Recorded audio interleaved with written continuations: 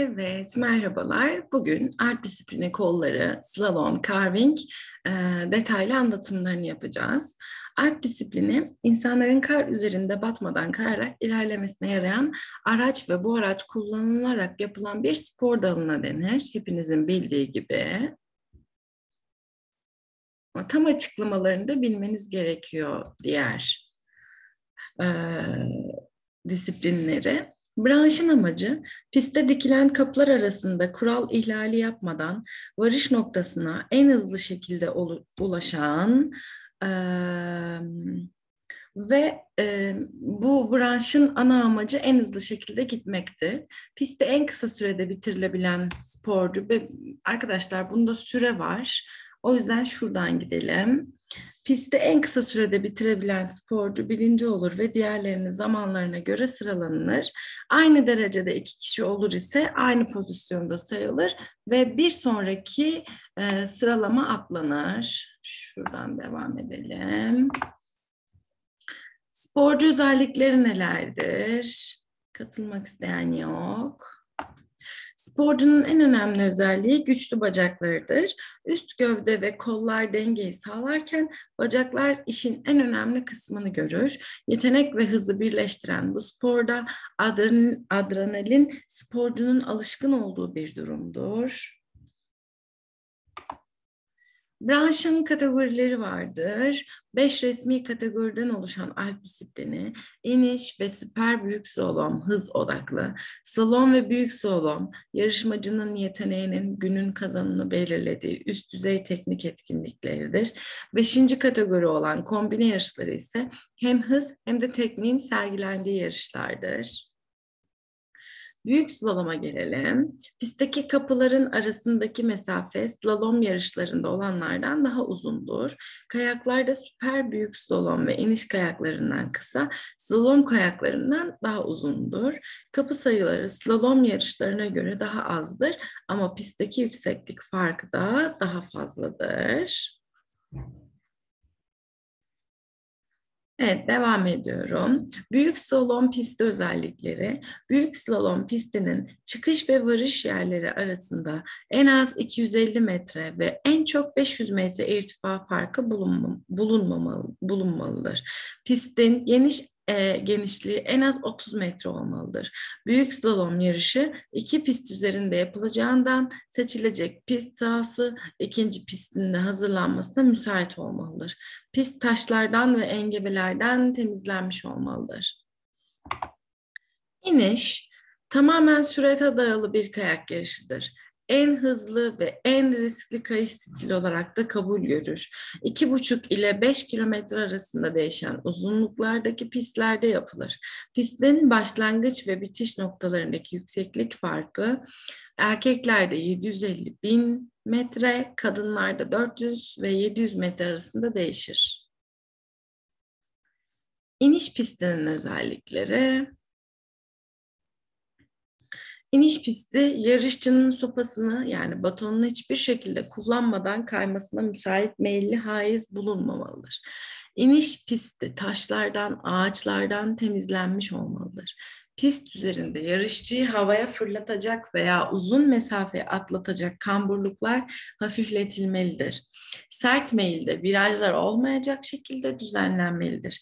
Çıkış ve varış çizgileri arasındaki irtifa farkı askeri olarak 800, azami olarak 1000 metre olmalıdır.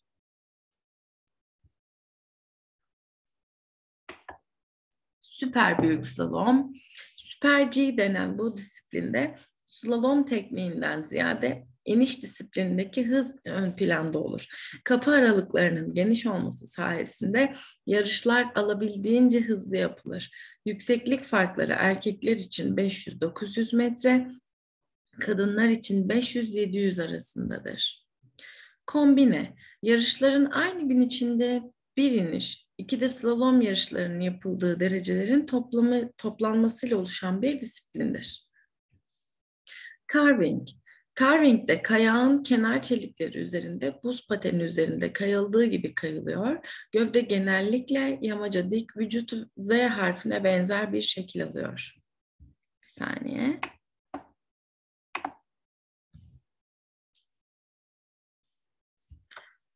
Tekrar carving'in başından alalım.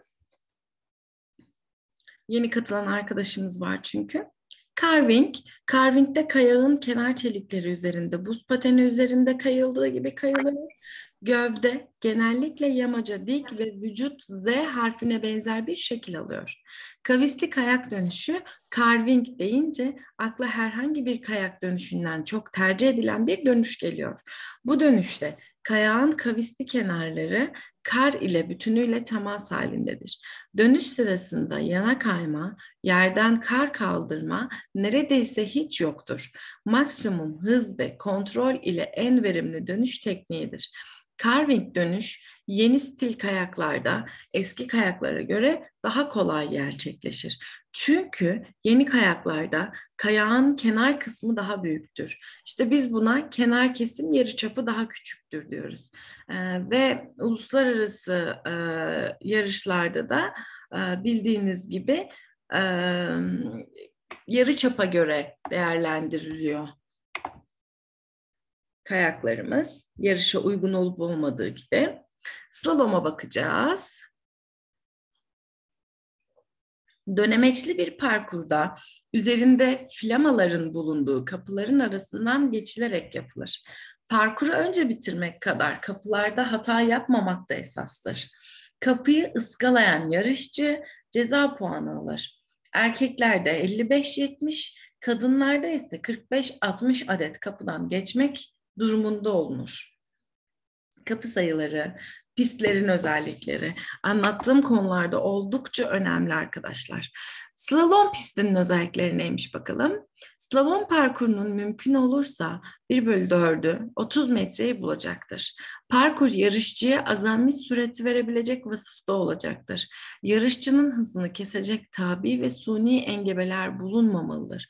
Çıkış yeri hava şartlarından sporcuları muhafazaya müsait olmalıdır. Mümkün olursa kapalı ve gerektiğinde ısıtılabilecek mahalde tespit edilmelidir. Çıkış ile varış mahalleleri arasında 104, 104 ile 200 metreye kadar irtifa farkı bulunmamalıdır. Slalom yarış çeşitleri. Sporun ana hatları, yarışçı profili, parkurlar, açık ve kapalı. Yarış teknikleri, dönüşler, atlayışlar. Sporun ana hatları, yarışçı profili. Alp disiplininde esas itici gücü sağlayan yer çekimi olsa da spor yüksek derecede formda olmayı gerektirir.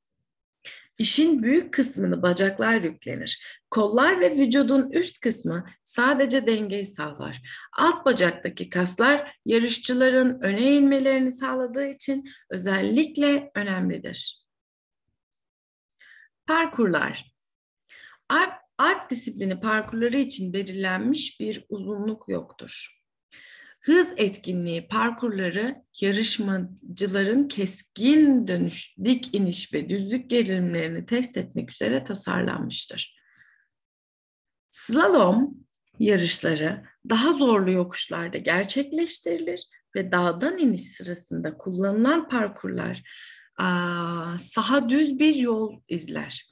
Tüm yarışmacıların geçmesi gereken her parkur renkli girişlerle açıkça işaretlenmiştir. Erkeklerin yarıştığı parkurlar kadın yarışmacılarınkine kıyasla daha uzundur ve daha çok geçit içerir. Açık ve kapalı olayına bakacağız şimdi. Alp disiplini yarışları geçit adı verilen renkli bayraklar kullanılarak düzenlenen yamaçlarda ya da pistlerde gerçekleştirilir.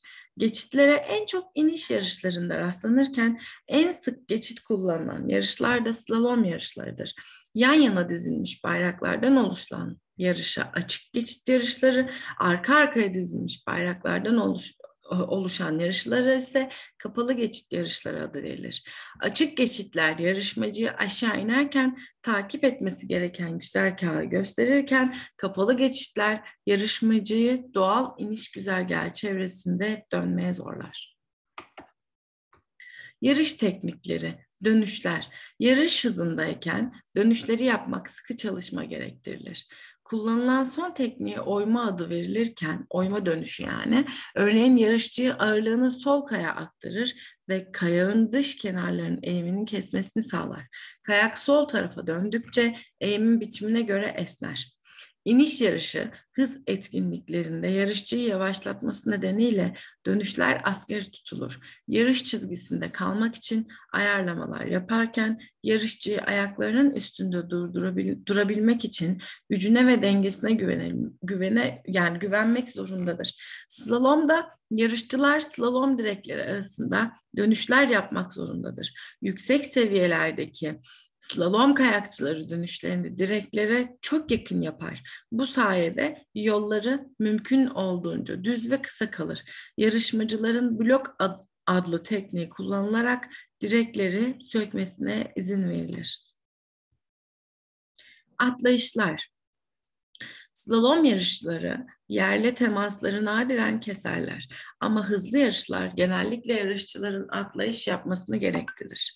Otoyol trafiğinden daha hızlı ilerleyen iniş yarışları bir atlayışta 80 metre yüksekliğe çıkabilirler. Bu yükseklikte bir atlayış ciddi yaralanmaları önleyebilmek için birçok yetenek ister. Yere inen yarışçılar ekipmanlarına da güvenirler. Kenardaki şeritler kayağı serbest bırakır ve yumuşak kayak kıyafetlerini kaymalarını, hafifçe yavaşlamalarını ve güvende olmalarını sağlar. Alp disiplini kayak yarışmalarında kullanılacak yarışma malzemeleri. Kapı sopaları, kapı numaraları, kapı filamaları. Arkamızda gördüğümüz kayak merkezi neresi? Erzurum. Kapı sopaları 3-4 santim çapında ve askeri 2 metre uzunluğunda esnek plastikten mavi boyalı 500 adet, kırmızı boyalı 500 adet olmalı. En az. Kapı numaraları beyaz kartondan 15 çarpı 10 santim ebatında kartonların tek tarafı 1-2 metreden okunabilir büyüklükte birden 75'e kadar numaralı 4 seri olmalıdır. Devam ediyoruz. Kapı filamaları.